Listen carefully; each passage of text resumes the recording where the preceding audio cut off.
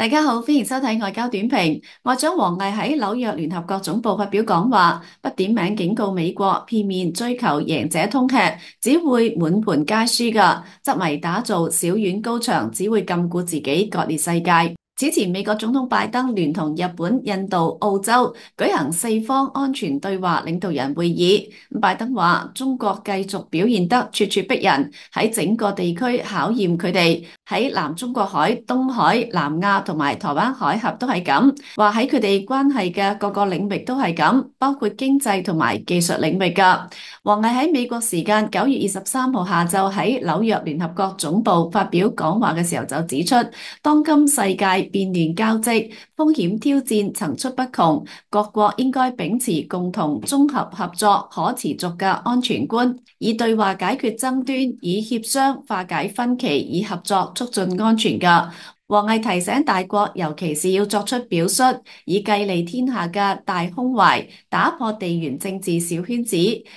以立己達人嘅大格局，超越衝突對抗小集團，做世界團結嘅推助器，國際和平嘅壓艙石。咁佢並且警告，片面追求贏者通吃，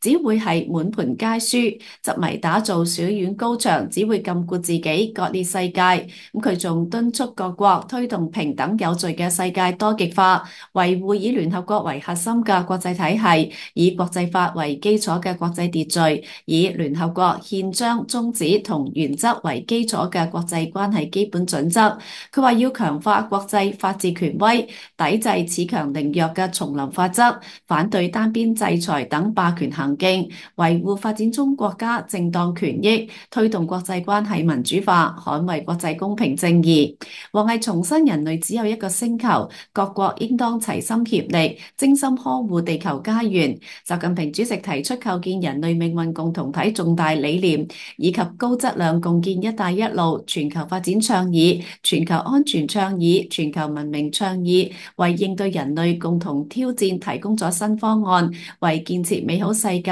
繪畫咗新藍圖㗎。除咗喺外交層面對中國施壓，美國過去半年可以話瘋狂咁樣加強制裁中國企業嘅清單。面對美國呢一種無理壓制，中國領導人除咗喺國際會議上多作宣導中國嘅立場，批美國搞小圈子會拖累全球之外，亦都有實質嘅行動㗎。就喺王毅聯大講話之後，中國再度出手，今次就唔單止係反制售台武器嘅軍工企業啦，參與美國政客政治操弄嘅美國企業亦都會被反制。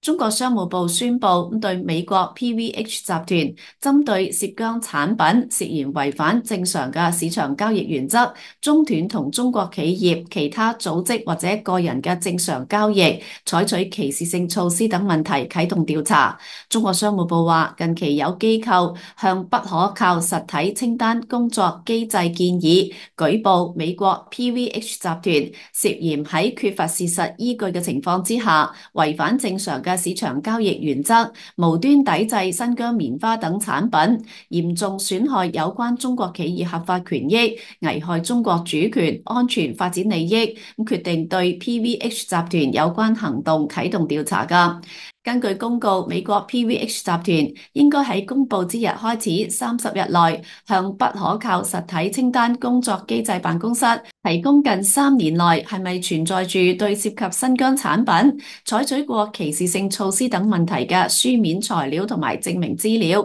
以及係其他相關嘅資料㗎。調查期間，美國 PVH 集團可以向不可靠實體清單工作機制辦公室陳述同埋申辯，不可靠實體喺清單工作機制辦公室會依法採取詢問當事人、查閱或者係複製相關嘅文件、資料以及係其他必要嘅方式，對 PVH 集團開展調查。PVH 集團同有關企業應該要予以配合㗎。商務部安全與管制局負責人隨後發布答記者問，指美國 PVH 集團涉嫌喺缺乏事實依據嘅情況之下，違反正常嘅市場交易原則，無端抵抵制新疆棉等產品，嚴重損害有關中國企業嘅合法權益，危害中國主權、安全、發展利益。對今年以嚟中方再次啟用不可靠實體清單，係咪意味住中國對外資嘅態度有所轉變？商務部就重申，中國政府堅定不移推進高水平對外開放，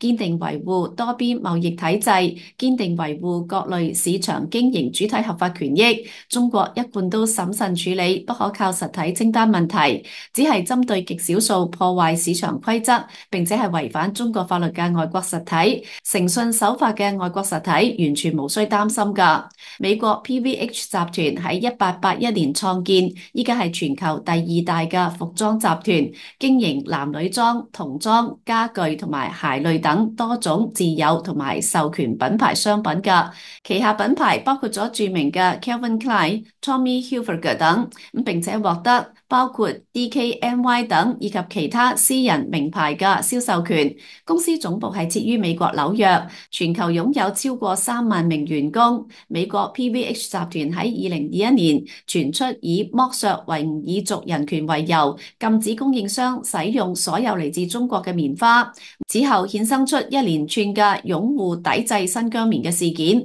今次中國啟動對 PVH 嘅調查，相信係回應美國商務部唔單止要加中國電動汽車關稅。咁近日美國商務部部長雷蒙多仲公布，正在尋求禁止喺美國銷售配備咗中國同俄羅斯軟件同埋硬件嘅聯網同埋係自動駕駛汽車。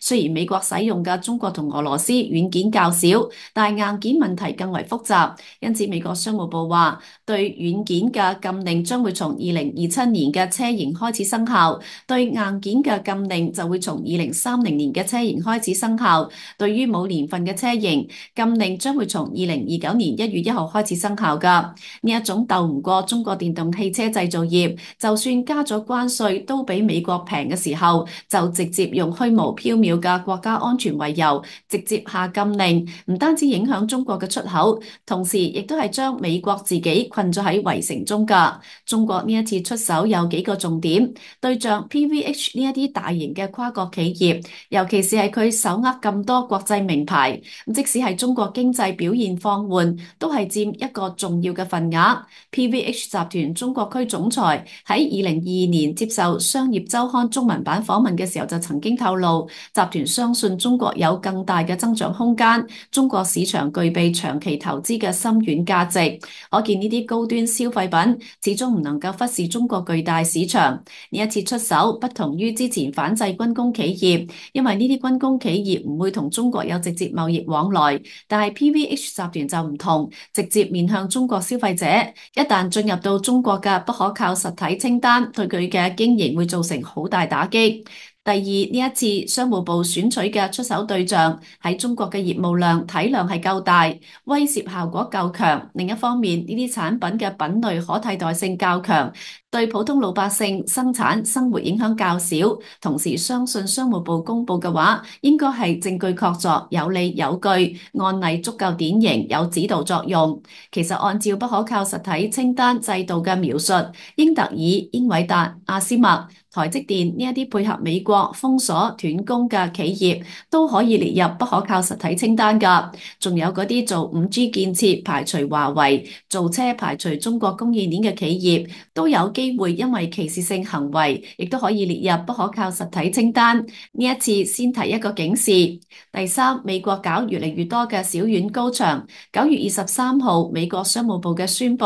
提議禁止美國境內嘅智慧網聯汽車。使用嚟自中國嘅關鍵硬件同埋軟件。